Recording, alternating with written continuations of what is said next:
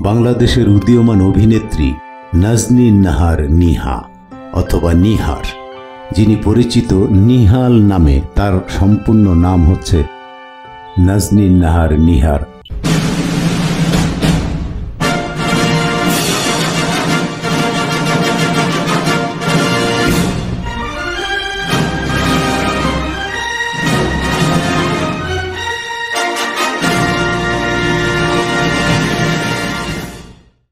কিন্তু তিনি দর্শকের কাছে পরিচয় পেয়েছেন নিহাল নামে, যার জন্য সবাই তাকে এখন নিহাল নামেই জানে। তিনি একজন বাংলাদেশের উদীয়মান নায়িকা হিসেবে বিবেচিত, যাকে ইদানিং দেখা গিয়েছে নতুন বাংলা নাটকে, যেখানে বিপরীত মুখে অভিনয় করেছেন জনপ্রিয় নায়ক জুবান। নাটকটির মধ্য দিয়ে নিহাল দর্শক মহলে প্রবেশ করে।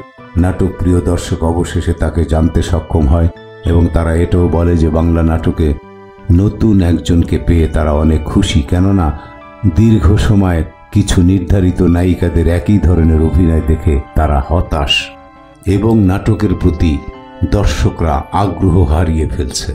চমৎকার, সুন্দর ও আকর্ষণীয় দেহের অধিকারী নায়িকা এই নিহাল খুব অল্প সময়ে ভীষণ জনপ্রিয় হয়ে উঠেছেন।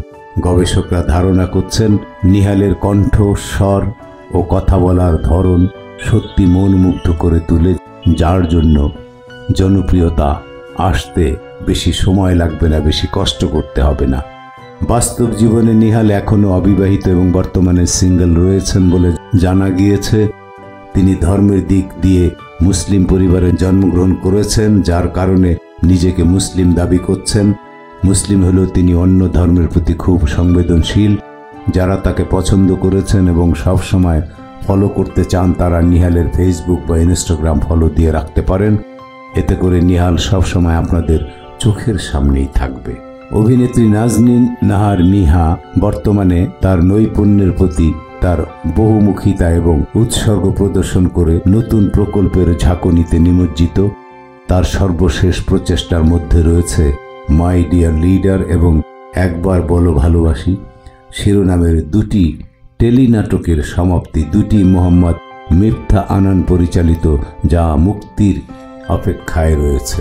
নিহা প্রবীর রায় চৌধুরী পরিচালিত লাভ সেমিস্টারে তার ভূমিকার জন্য উল্লেখযোগ্য মনোযোগ আকর্ষণ করেছেন, যেখানে তিনি ছোট পর্দার অভিনেতা জোভানের সাথে স্ক্রিন শেয়ার করেছেন।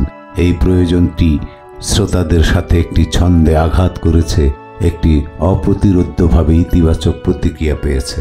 লাভ সেমিস্টার ছাড়াও নিহাকে আরও দুটি টেলিনাটক মোহাম্মদ মোস্তফা কামাল, রাজু পরিচালিত অনুরাগ এবং মাহমুদুর রহমান হিমে পরিচালিত সুইট প্রবলেমে দেখা যাবে। এই নাটকগুলি ইউটিউবে সহজেই অ্যাক্সেসযোগ্য দর্শকদের তার গতিশীল অভিনয় দেখার সুযোগ এনে দেবে। তার সাম্প্রতিক প্রজেক্টগুলির জন্য তার উৎসাহ প্রকাশ করে নিহা বলেন, আমি মোহাম্মদ মিফতা আনান পরিচালিত পরপর দুটি টেলিনাটকে অভিনয় করার সৌভাগ্য পেয়েছি। উভয় টেলিনাটকের আখ্যান সত্যি আশ্চর্যজনক এবং আমার কাজের প্রতি আমার গভীর আবেগ রয়েছে। দর্শকরা আমার আগের কাজগুলোকে সাদরে গ্রহণ করেছেন এবং আমি আশাবাদী যে এই দুটি নাটক একইভাবে ইতিবাচক সাড়া পাবে।